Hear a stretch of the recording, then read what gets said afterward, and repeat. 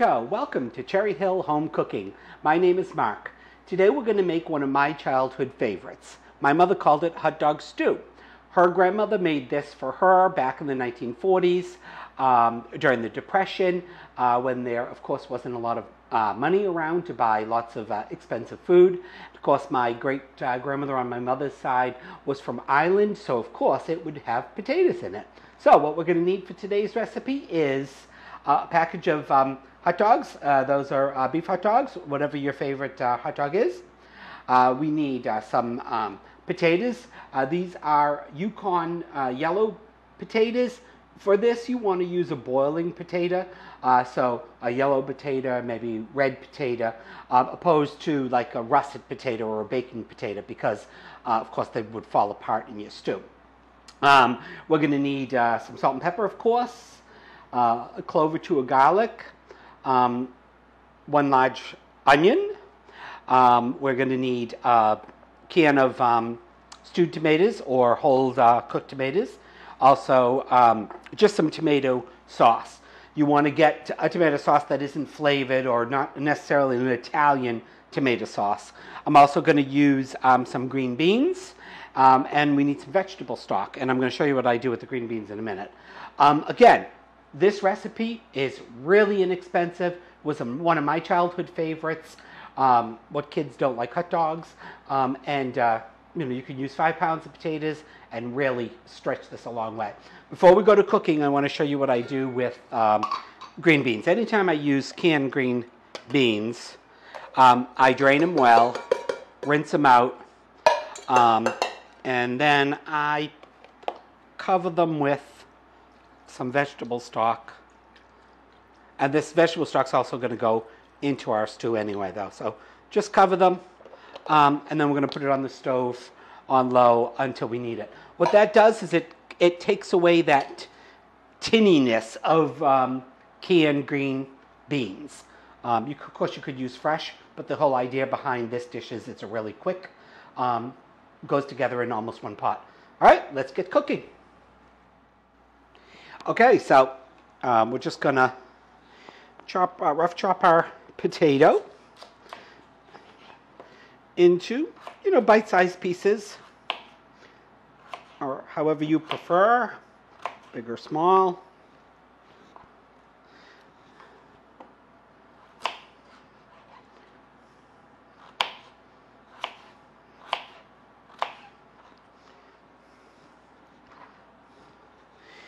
Right, now we're gonna just do the same with the onion. Oops.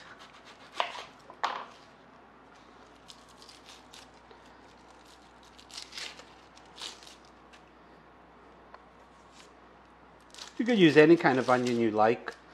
My mother always used white onions for this, so that's what I use when I make this.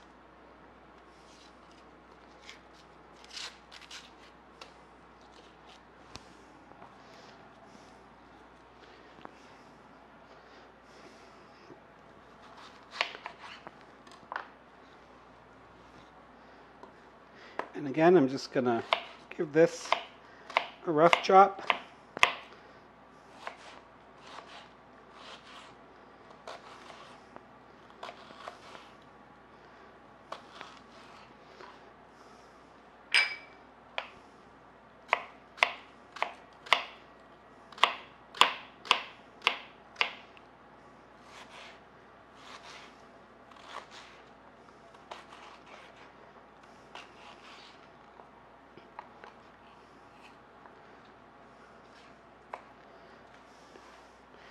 Those are strong onions. And then we're going to finely mince our garlic or chop it up as much as possible.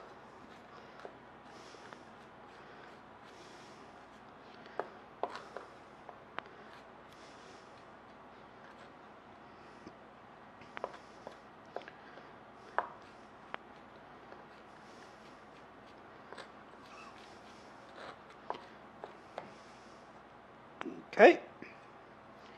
All right, we're going to take everything over to the stove and uh, we'll get everything in the pot. Oh, forgot the hot dogs.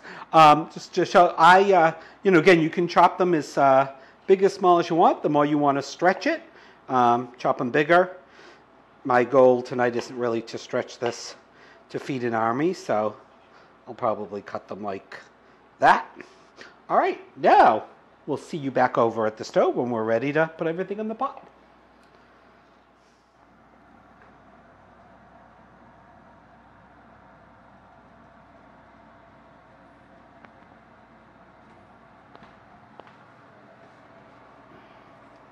Okay, um, we've got our warm pan. I'm going to add a little bit of uh, canola oil to get our onions sauteing in.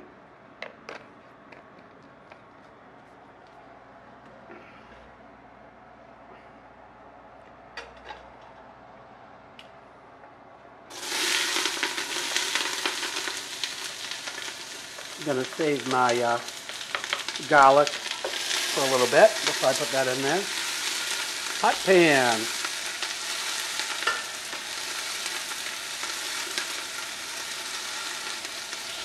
So we're just going to let these um, saute a little bit, just get a little translucent, a little bit soft, get um, a little bit of caramelization on there.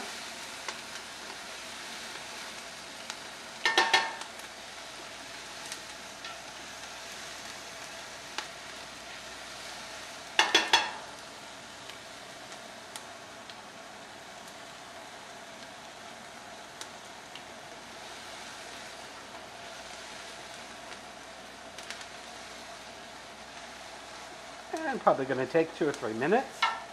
Already starting to get a little bit of color.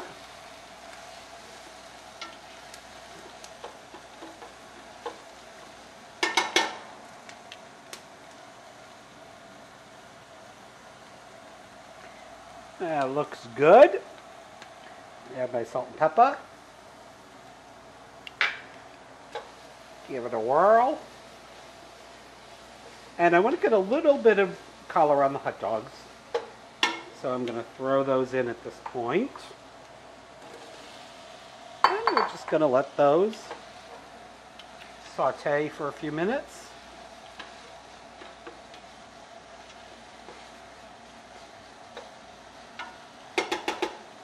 I'm going to stand right here, so I'm going to turn on my heat a little bit.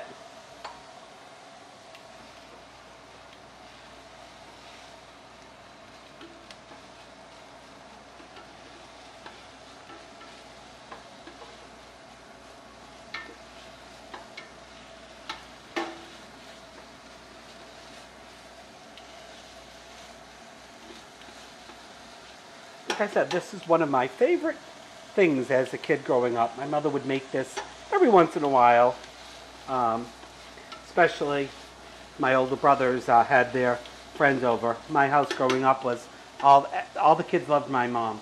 Everyone was always at my house, so she was always feeding an army of teenage boys.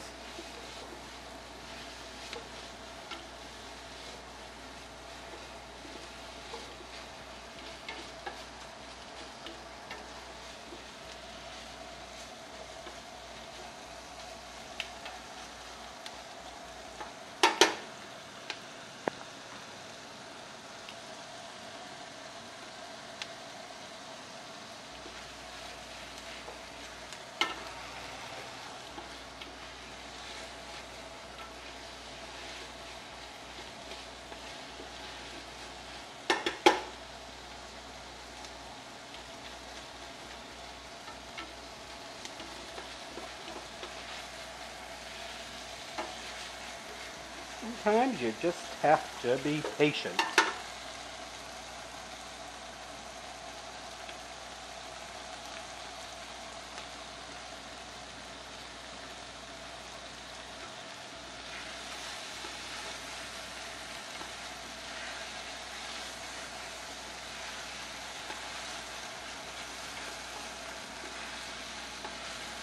All right, that looks pretty good to me. Now I'm going to get my garlic in there.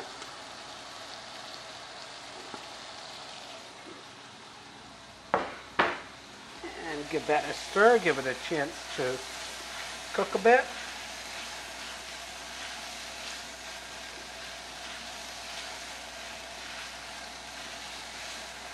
Mmm.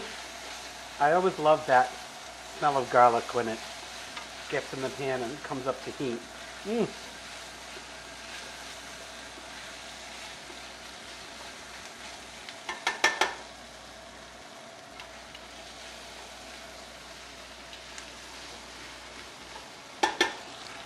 At this point I'm going to go back to medium.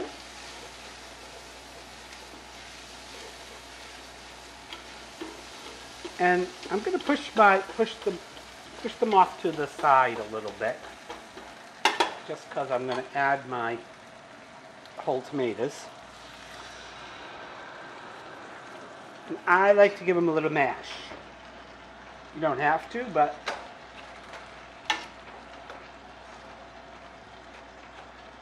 just to break them up a little bit. Suppose you could use crushed tomatoes and then you wouldn't have to give them a mash. As I said, that's just the way my mother did it, so that's the way I do it this way.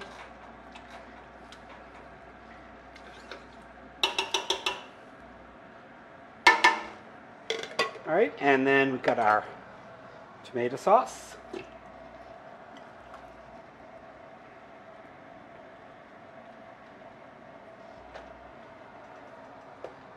Put a little bit of vegetable stock in there get it all out.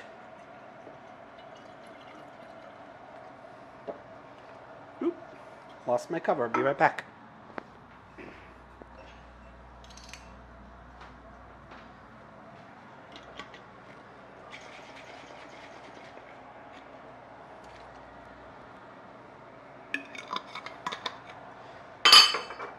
We're going to give that a stir.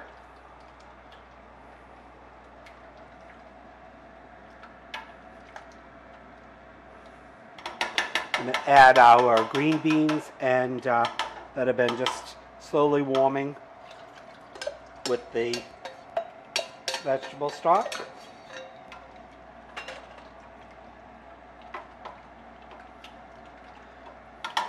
And then we're going to add our potatoes. Now, of course, I, when you saw these potatoes earlier, they were in water. I've drained the water.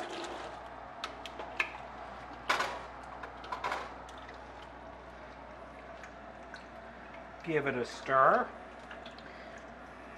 I think I need a little bit more liquid, so I think I'll put in the rest of this vegetable stock.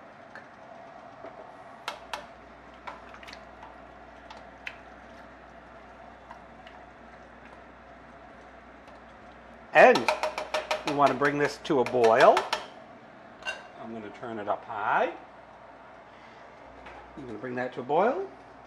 And once it comes to a boil, we're basically just going to cover it and turn it down to uh, medium low and uh, let it cook until the potatoes are tender.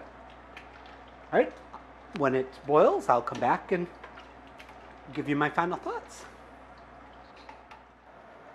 Okay, and I forgot to tell you about uh, two other ingredients. Um, I'm going to put uh, eighth of a teaspoon of uh, accent in here, and as well as an eighth of a teaspoon of celery seeds. Again, that's something my mother always added. Um, you definitely want to start out with just an eighth of, eighth of a teaspoon of the celery seeds. They are very flavorful.